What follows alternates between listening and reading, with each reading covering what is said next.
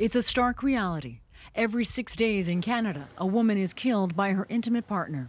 This year alone, in this province alone, 12 women died in alleged domestic violence crimes. And what's worse, most of the time, it comes as no surprise. It's a very personal risk. It's not random. He's, you know, you're the target. This woman asked us to obscure her identity. She's still afraid of her former partner. It's terrifying. Um, it's every minute of every day, day and night, you're wondering if he's coming to hurt you or hurt the kids. The woman's abuser was eventually convicted, but only after years of stalking her.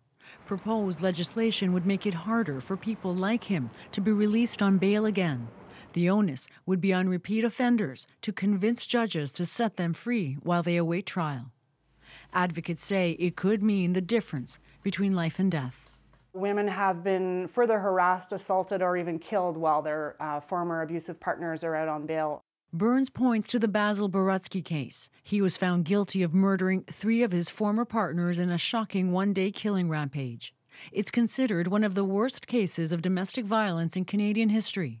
But the fact Borutski had been in court for assaulting his victims before he killed them is not unusual. Peter Jaffe is reviewing more than 300 domestic homicide cases in Ontario. In three quarters of the cases, there were warning signs stalking, harassment, a history of assault convictions.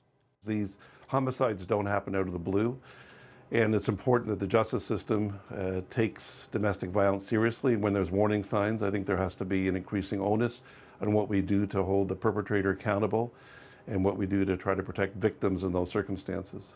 If I was making the rules, there would be no bail.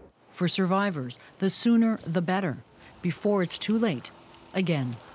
Ioanna Roumeliotis, CBC News, Toronto.